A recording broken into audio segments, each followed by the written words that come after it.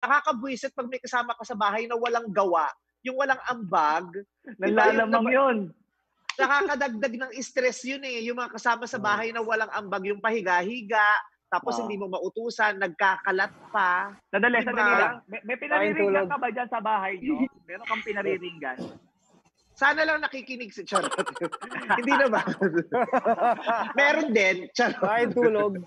Kala ko si Jason yung pinariringgan mo eh. Di ba? Lalo na pag marami kayong magkakapatid, di ba may ganong kapatid Oo. na yung nakikita ng yung lahat nga kayo na problema na pero nagdadagdag pa ng mga ligpitin, ni hindi man lang makapaghugas Oo. ng pinag-inuman, pinag pinagkainan, hindi makapagdiretso ng baso sa sa kusina. Di ba yung mga aminin niyo ang daming may ganon ka bang kapatid? Opo, yung um, lima ko pong kapatid. Wala sila ganun? yung la- Yung So, ikaw lahat? Ikaw lahat? Oo. Tapos yung simpleng kaka, kakain na lang ah. Yun ang lang ang Mm. gagawin kakain. So, so kakain na. Pag sinabing kakain na daw po, ang tagal-tagal pang bumaba o lumabas, di ba? Yung pahintay, yung at uh, kakain ka na nga lang, bakit patawag? May mga kapatid na patawag. Kailangan pang tawagin, di ba? Tapos Ay! papaantay. Tapos pag konti na lang tirang ulam, tatalak. O ba't ito na lang? Di nyo ako tinirahan. Eh, ang tagal-tagal mong dumating. Kanina pa sinabing kakain na. Totoo yan. Napaka-totoo na sinasabi mo, guys. Le, meron pa yung late gigising.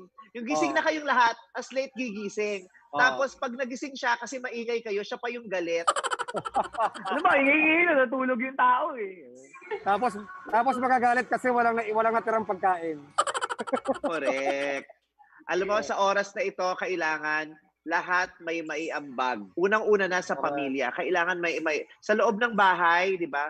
May ambag tayo dapat sa paglilinis, sa pagluluto, sa paghuhugas, o yung iba naman, ang ang ambag, pwedeng ang ambag kwento, pasayahin nyo yung mga kapatid Tama. nyo, chikahin nyo yung mga kapatid nyo, di ba? Yun, dapat kailangan may ambag, di pwedeng walang gawa. Di ba, Ay, sa barkada. Glenda? Sa barkada may ganun. May ambag lang kwento. Pagbayaran na, wala na. Correct. Kung wala ka na lang rin mabibigay na chip in, magpatawa ka na. Ganun ako dati. Sa grupo namin nila Carla Estrada, Oo. nung bata pa ako, yun ang ambag ko kasi wala ako talagang pera eh. So kahit saan kami pumunta, gusto nila kasama ako kasi ako yung clown. Bit-bit Ah, nila ako, pero wala akong kasama. babayaran. Pero kailangan magpatawa ako. Pag di ako nagpatawa, bugbugin ako ng mga bakal nila. Ay, hindi ka nagpapatawa. Correct. Nakakapagod Patawa yung ginagawa. Tapos papaypayan ko sila pag natutulog. pero Bakit si Carla pinapaypayan mo? Ngayon, pag pinaypayan mo si Carla pag natutulog, ano itsura? ay lumulutong siya pag, pag pinapaypayan ko siya habang iniikot-ikot ko siya. I love you, Carlita. I Ay, miss you. Carla!